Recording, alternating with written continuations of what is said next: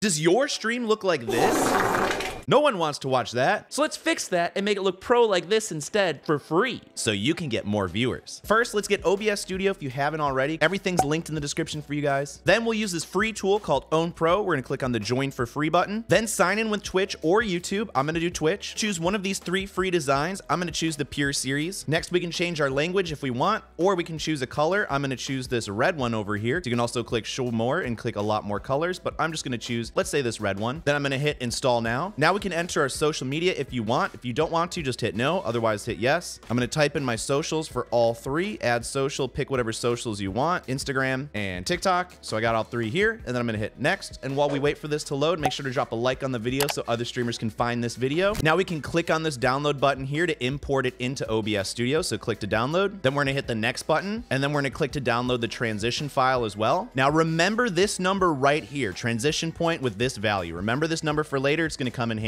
Don't forget it it. Now we can go into OBS Studio. You can see we got our amazing background here, but what we need to do is go to the scene collection at the top, click that tab. Then we're gonna go to the import button. Ignore what I have here. You're gonna go to the first empty box in the middle, click this little three dots button, so click that. Find the .json file that you just downloaded, then we're gonna click it and hit open. Make sure that box is checked, and then we're gonna hit import. Then we go to the very top again where it says scene collection, and then click on pure or whatever package you downloaded. So I'm gonna click on pure for me. Now go to the bottom left corner, you see we got a whole folder of stuff. We got starting one, animated starting soon screen for free, and it has all of our socials automatically in. Then we got our ending scene, same thing. We got BRB already done. And then we got overlay one, which we can add our gameplay and our webcam in a second. And then we got our talking one. We can have a webcam and then like a display capture for browsing the internet here, chat and all that good stuff. In order to have a professional stream, we obviously want to make sure we sound nice. I'm using the Rode PodMic USB, which I really like. Cool part is I can also connect it from my computer to my phone. So I actually actually use it to record my shorts and everything, which is really convenient for me, and it sounds pretty nice, don't you agree? I'll leave all these linked in the description down below, by the way. If you sound nice, you gotta look nice, right? So that means we gotta get a good webcam. Lucky for us, Insta360 sent over these webcams for us to try. We got the Link 2 and the Link 2C. The only difference is that the 2 is on a gimbal, so it can do tracking compared to AI auto framing, but they're pretty much the same. So I'll be using the 2. So I simply plugged in that bad boy. We're gonna add a new video capture device source. So click on the plus button under sources, video capture device. I'm gonna call this Insta360 Link 2, and then I'm gonna hit okay. Now I'm gonna find the device from this list. As you can see, I got an integrated webcam for my laptop, and look at how awful this looks. This is a very bad webcam with the laptop. So actually I'm gonna double click on that source.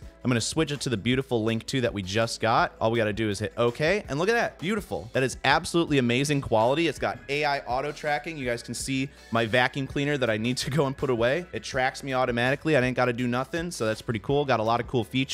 And now I'm going to drag the corner down here and we're going to fit it in between these things here. So we got our camera here. I'm going to drag it in between there. Now we just got to tweak it a little bit so we can kind of drag the arrows and use the arrow keys on our keyboard to make it fit perfectly behind it, which looks pretty good like that. Nice. Also, we can do the same for our overlay tab. So we go back to this scene. I want to add a webcam overlay. So let's go back to OWN3D Pro. We're going to hit done. I'll add that transition later, but we're going to go to the dashboard right here. Then we're going to go to the My Scenes tab on the left, and we're going to open up that package we just had. Then we're to go to the overlay scene overlay. So click on that one. Now we can make any changes to our stream here in case we like something or don't like something or you want to change something. But I just want to add a webcam graphic. So I'm to click the add graphic button and then I'm to go to overlays right here. I'm to find the package we're using, which is pure. We got our webcam overlay right here. So click on that. I'm to click on the middle and then drag this corner to make it more appropriately sized. Put on the left over here, maybe like right there. Then I want to hit save in the top right corner. Otherwise, none of this is going to save. So make sure to hit save and let's go back to OBS. As you can see now, it is updated right here. And if it didn't, simply click on the foreground browser, double click that, scroll down, and then hit refresh cache a current page. It's going to force it to refresh. And that way, if you hit saved, it will update your changes. So now we can do the same thing. We'll click the plus button. We'll go to video capture device and we'll do add existing. We'll add that webcam earlier. I can't get over how good quality this is. This is a 4K 30 FPS or 1080p 60 frames per second webcam webcam and it has a half inch sensor, which for noobs or people that don't do tech is actually really freaking good for a webcam. So I'm gonna make sure to do the same thing to drag that right in the middle and boom, we got it right there. So we got our beautiful webcam, we got our webcam overlay and that. Once you got your game open, I'm gonna open up a new source. We'll hit the plus button. You can use display capture if you wanna capture your whole screen, or you can use game capture or window capture. I'm gonna use game capture, hit okay. And then now you can either choose capture any full screen application if you got two monitors. Otherwise, click this little button here and then go to capture specific window. And I'm gonna specifically capture Hollow Knight. Now, if you play different games, you're gonna have to change this window every time, but if you want, you can choose whatever you want. There's multiple different options, but we'll just hit okay. We're gonna drag our game capture all the way down. And now you can see we have our beautiful game capture. We got our webcam overlay and we got our stream labels at the top automatically imported pretty quick. We're gonna go to the talking scene at the very bottom, do the same thing, plus button, then we're gonna do game capture, then we're gonna do add existing game capture, hit okay. I'm gonna drag the corner down to make it fit right about here. But instead of dragging it all the way down, we're gonna drag it in between the foreground and the background. So that way it has that nice little overlay look. Now we gotta add our transition. So let's go to scene transitions box right here. We're gonna click that little plus button. We're gonna choose Stinger. Then we're gonna hit okay. And now we're gonna browse for that video file. We're gonna click on that transition we just downloaded earlier, hit open. And then now we gotta go all the way down to where it says transition point. Now on that page we skipped through, it told us the transition point. I remembered it's going to be a thousand for this one. Then we hit OK. Now we're going to click on a different scene like that.